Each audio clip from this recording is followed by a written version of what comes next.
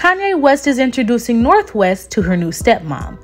The nine year old daughter of Kim Kardashian and Kanye West was seen dining with her father and his wife Bianca for the first time since their surprise wedding. According to the Daily Mail, the newlyweds waited as North security team dropped her off with a friend at Nobu in Malibu on Sunday before heading inside.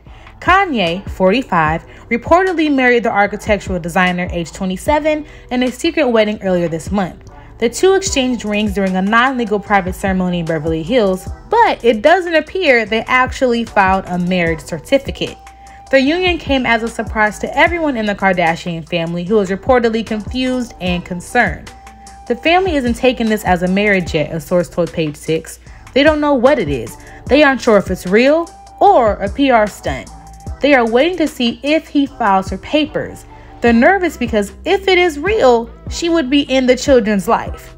Per the report, Kim is not a fan of her ex husband's new wife. Kim hates her. She has a bad opinion, allegedly, of her and isn't afraid to tell anyone about it, an insider told the outlet. This woman has done stuff to make herself look like Kim.